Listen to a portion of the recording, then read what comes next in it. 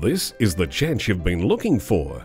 A two-level penthouse boasting expansive mountain, river and city views. Reflections on the Park is a pet-friendly building and is positioned opposite a riverfront park offering another place to relax.